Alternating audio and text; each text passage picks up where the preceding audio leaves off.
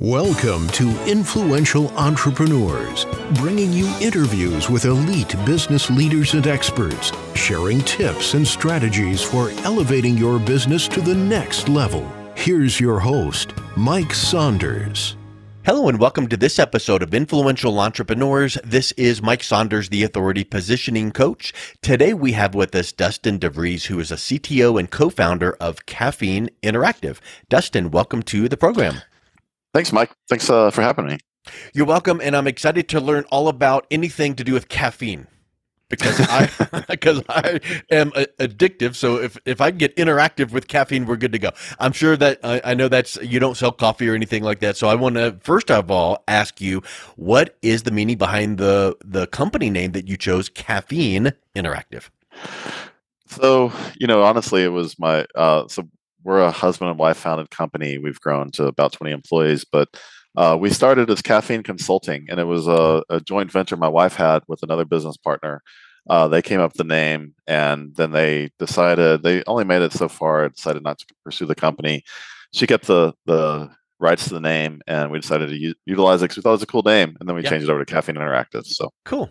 Well, there's always fun stories behind, you know, oh yeah, one time we were. So I love hearing that. So give me a little bit of your background and your entrepreneurial journey. What led you into the industry and then to found a company with your wife? Because I think that that brings a whole other um, nuance to doing business. But um, what's your journey been like? yeah. So, you know, I started, I spent about 10 years in the semiconductor industry out of college. And then from there, uh, I guess the last two or three years, I started kind of on the side working um, so in the semiconductor industry, I was doing uh, software development, uh, and then kind of started doing some moonlighting on the side. And then uh, around 2010, I guess it was about you know 10 years into that that journey, I decided to branch off and start doing my own thing. And you know, I've been doing that now for uh, over, I guess, what is it, 12 years now. Neat. And what did you and your wife co-found this at the same time? The company? No, actually, you know what started? It really started from I was kind of getting tired of corporate the corporate world and I wanted to oh. go off and do something.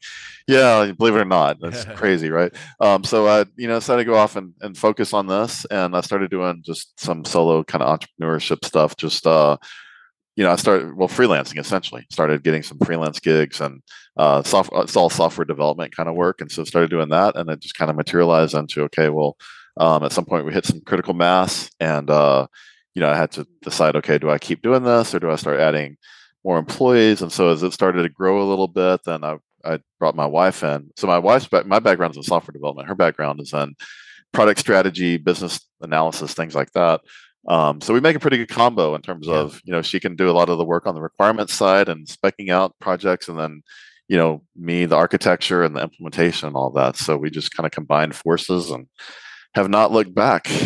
That's awesome. And so, um, obviously with a husband and wife team the word balance comes in so you just described how you balance each other out but talk a little bit about like a work life balance because you know you're at the office all day or you're at the home office all day and how do you not bring work home or how do you not bring personal to work? Because that might be a nine hour conversation right there but give us the thumbnail sketch of what you have discovered through some trials and tribulations i'm sure as well I'll start with the best part is we get to the expense every meal that we have together. So, you know, it's always a business expense because the two founders of the company are together. You know, it's 100% yeah. of the ownership getting together. We, we should expense this. But, and I'm not a tax advisor. So, you know, hope yeah, anyone right. listening doesn't take this to heart. Please, but uh, please consult with your CPA before implementing yeah. ideas of the show. exactly. Lots of footnotes and asterisks yeah, really. on the show notes. Um, but no, I, I would say, you know, for us, I mean, balance is definitely a big, important part of it. There's, you know, uh, even like right now, I'm up in my office, and her office is downstairs. I'm upstairs. She's downstairs on the other side of the house. Yeah, that's one way to get balance. Right? Yeah, just physical balance, physical separation. Um, I think also just the fact that she's handling more of the front end interfacing with customers and understanding the requirements and their needs, and then we're more in the back end uh, implementation side of things. It creates a natural kind of div- division between her responsibilities and mine. So that creates a little bit of a better ecosystem for us to work together. Um, you know, it's it's challenging um, for sure, and then you know you pile on all the other stresses of life that that come in behind that, and it's even even crazier. But I guess it's just become the norm for us over the last you know 10 12 years and we've managed to to live with it and i think you know there's also the motivation of the fact that we're working from home and we've been working from yeah. home since well before covid and i really like that lifestyle and so i'm motivated to maintain that lifestyle I know. You know? I've, I've said that so many times like covid and oh um uh, virtual and zoom that was my i've worked from home for the last 12 years. And covid schmovid it doesn't it didn't affect me one bit and i'm thrilled to see these people now going oh um, we now can go back to the offices but we sure have liked doing virtual things. And mm-hmm. and i think that there's even some traditional industries that have discovered you know what? I'm an attorney and people normally come down to my downtown office find parking come and meet with us in our conference room for an hour. But you know after we were forced to do some virtual things some people like virtual, some people like in person, and we do in the mix. So I think that people are going to discover that, and just like work life balance, well, virtual, in person balance. You're gonna you're gonna serve your clients the way they need to be served. And I know that um, talking about you know what your services are to your clients, talk a little bit about what is the main deliverable when someone hears about Caffeine Interactive. What are they coming to you for? So we are a full service digital agency. So everything from uh, marketing to website development to web and mobile app development. I would say, you know, with a background in software development, that is really our core strength. It doesn't mean that we aren't good at the other things, but building web apps, mobile apps is really, you know, where we uh, that's where we really founded our the the background, backbone of our company was really based on that. I guess I would say. Um, and so, you know, a lot of times people are coming to us is because they have a great idea for a new app. They're coming to us because you know sometimes it's business owners who are looking at maybe some inefficiencies within their business processes and they're looking they have some ideas about ways they can go in and automate some of that and make it more efficient. And then we're coming in to help them build systems. So sometimes it's customer facing things that are going out into the world and you know a lot of people using it. Sometimes it's just businesses that are who are you know hiring us to help build some better processes for themselves. Like infrastructure. Uh, Yes, infrastructure, yeah. integrations between systems, things like that. That's cool.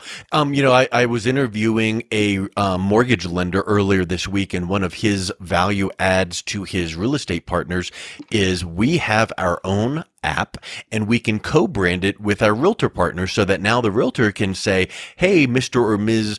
Um, buyer, when you get pre-approved with XYZ lender, um, you've got this really neat app to get pre-approved and see every step along the way.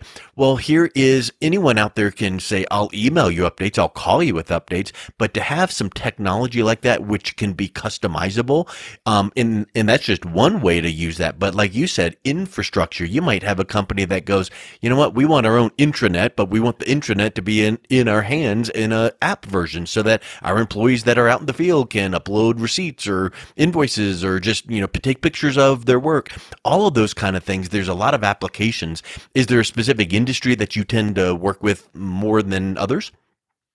You know, I wish there was because I think it would make our our marketing and and kind of like campaign strategies and stuff a yeah. lot easier. But we've worked with so many different industries. So I wouldn't say we necessarily specialize in one. We've done a lot of real estate, and I think that's just because naturally, I think uh, real estate professionals tend to be more entrepreneurial in spirit, anyways.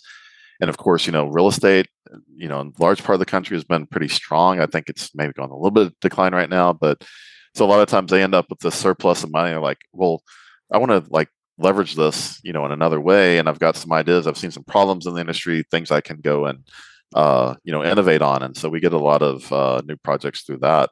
But uh, you know i'll say you know what the things i like i really enjoy working on and you know this isn't necessarily a specific niche or anything like that but we get someone coming in with a specific need in a specific in- industry that's maybe not that glamorous. Like one that, that's coming to mind right now is we had a a customer who does uh, auditing of medical gas equipment, like in dentist office, hospitals, things like that and he had a process he would go through, but it was not automated at all. So we worked with him to build an iPad app so that all of his employees could use iPads and go in and they could select which room they're in and go through and audit, you know, what kind of of uh, equipment, what kind of access points were in that room, go through and add those in, go through, you know, whatever criteria they go through when they're auditing these things and put in all of that and then generate a report at the end of that made his workflow a lot better that was totally an internal use tool nothing customer facing in that other than the report it generates it maybe goes to the the customer that he's working with but that's it you know and it was just a cool app because you see where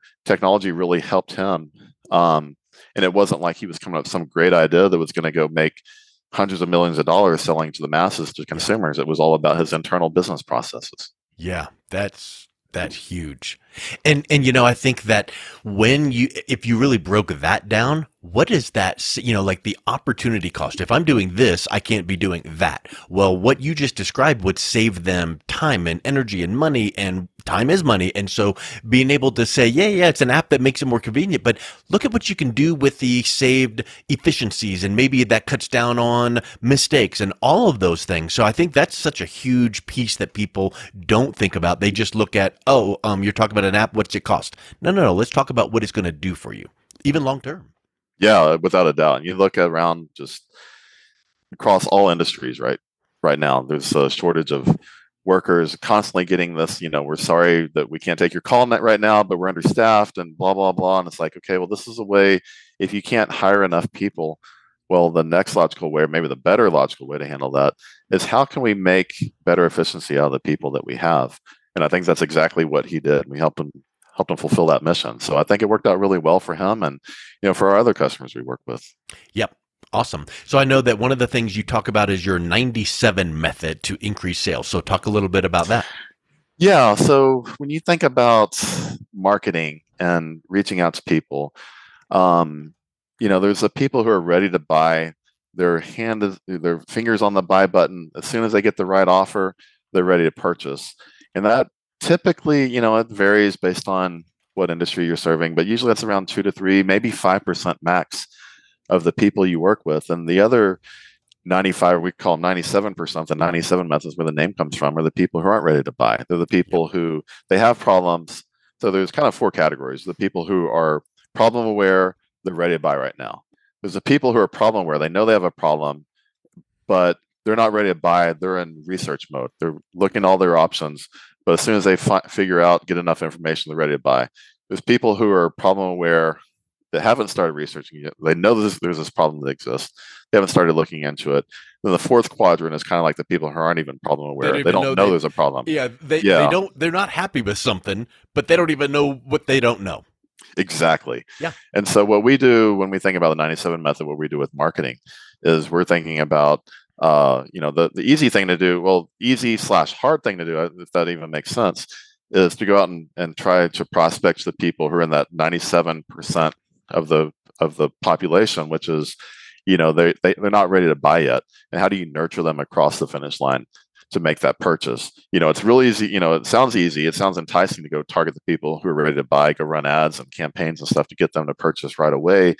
That that two or three percent but that's the most com- competitive spot. That's where everyone is competing. So it's like, how do you get a message out that's in like on different channels, different marketing mediums, different problems that you're p- pitching, uh, and go pitch to those people versus trying to compete for the most competitive segment, that two or three percent that are ready to buy. It takes a little more time, a little more nurturing, but then you can get results from that. And if you tie in the old, you, do you remember years ago the concept of content marketing? Yes. I say content marketing is no longer, is dead. And here's the reason why content marketing just means you're teaching people, you're educating people, you're not push, push, push, sell, sell, sell. You're teaching. Well, that's just good marketing. Don't call it content marketing. It's just good marketing. It should be. So yeah, content mm-hmm. marketing is still around. It's just not called content marketing. It should just be effective marketing. But when you can take that content and break it down into digestible chunks and pieces, because you can put together a nine page blueprint PDF and get it, you know, everything out of your head that it describes what you do to solve your perfect uh, target audience's problems and send it to them and they glance at it and it's like, nah.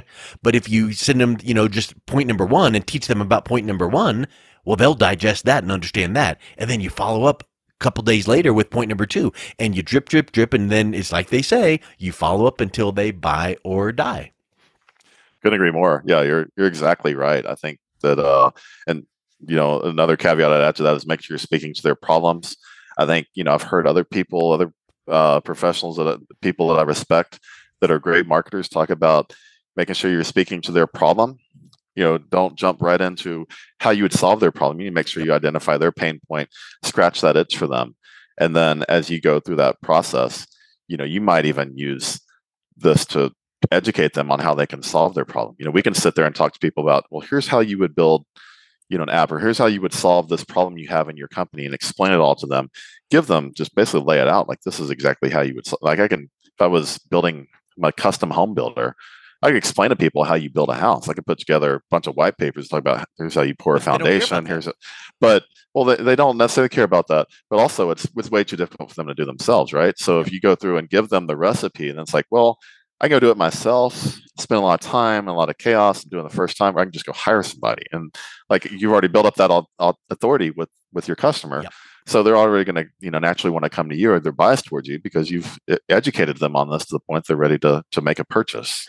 And and I'll clarify what I meant. They don't care about that. They do care about that. They just don't care about it at, at the very first time you're talking to them. And we tend as business marketers, salespeople to just blah, get everything yes. up front. So they care about it. But first, they want to know about, and I've heard it said this way so many times sell the futures not the features, and sell the transformation, not the transportation. They want to get to that, mm. that desired future. And when you talk about that, what they want and they what they need and, and their you know dream there, and in this case, let's say the the dream house. Oh yeah, wouldn't it be nice to have you know a beautiful home with? And they describe that. Yes, wouldn't it make you feel wonderful and bring friends over? Oh yeah, yeah, yeah. They don't care about the studs of the foundation at that point. At some yeah. point, when they when they they get it, now you're meeting with them the next time, and now of course you're going to talk about all the nuts and bolts and the foundation things. But that's that's kind of um, shifting the approach, and that kind of gets into that 97 method because you know what? There, you know, let's just use the 97 as an example. I know it's like 97 percent of the time people aren't ready to buy. Well, let's just pick um, 97 bullet points that would fully um, articulate what you do to solve their problem. Don't put that in a white paper and send it to them send them 97 emails over 97 weeks. And at some point, at the bottom of every email, it's like, if you want to learn more, please contact our office. At some point, someone's going to contact the office after email two, someone else after email 22. Yeah, you're exactly right. I've heard there's different stats in industry. People talk about how many times, how many touch points you need to have with the customer before they're ready to buy. You know, hidden secret is it's not one, it's not two, it's typically several. Uh, the numbers I hear are typically between like 10 and 15 times that you need to reach out, touch, call touch points with the customer before they take action. So I, I, think you're exactly right. Well, these days, uh, and I've heard that for decades, right? You know, it takes X number of times. Well, I would say that it takes two or three or four times to count as the first time because mm-hmm. Dustin and Mike are busy and we get text and instant message. I just looked down at my phone and I got a Facebook message. I don't know who it's from, but I saw it came in. Well, oh, I got distracted. Well, you know. here's the problem. You can't have a formula and say it takes 22 times to get, because it might take two or three or four times to kind of get their attention because they're distracted. So it yes. kind of gets down to you just keep on following up. And here's another tip, and I know you agree with this please don't just set up a 97 point email drip series because they're going to tune you out. Because today, twice, I went to my Outlook and I'm like, okay, I'm tired of getting this email from this place. I'm just going to set up an Outlook rule because if I hit opt out or, you know, unsubscribe, maybe they will, maybe they won't. I'm just setting up an Outlook rule. So here's that marketer thinking they're marketing to me, but it's going right to my deleted. So you need to have some touch points where it's a few emails here, a few text messages there, uh, maybe, ooh, God forbid we send an actual piece of mail in their mailbox, ooh, or maybe a voicemail. You've got to have a multi-touch campaign that stays in touch with people, that educates them on what it is that you really do. And you know what it boils down to is just be real with people. Just real is rare. You know, just talk to them. Email like you talk to them. Just converse with people. Don't try to take them through some, you know, formula like, you know, how sales trainers try to get you to, and people can see right through that. So I think you just go, hey, yeah. what do you need? Let's, let's see what we can do.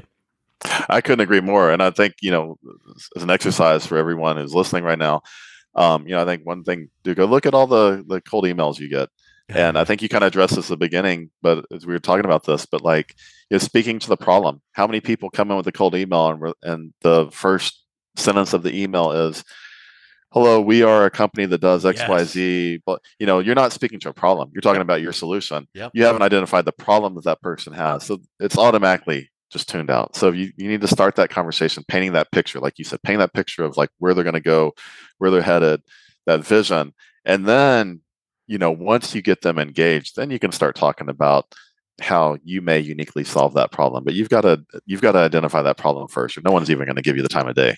So you know how people say, you know, we walk our talk. So let's mm-hmm. let's put you to the test of what you just said in a cold email, you shouldn't say we have the best and we you should choose us because. So I'm going to go to caffeineinteractive.com right now and let's just see if you. Oh, oh gosh, oh boy.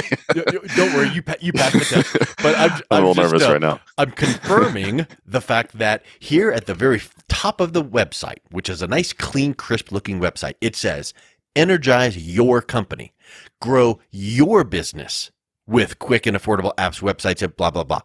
Mm-hmm. Now, and and look at look at right at the very end of that one little statement backed by an award-winning team so you, you're exactly right and you're doing what you said. Energize your company not our award-winning team can help you. No it's energize your company grow your business. That speaks to the visitor. And then of yeah. course here's what you do and way down there it says some of our work includes. Awesome.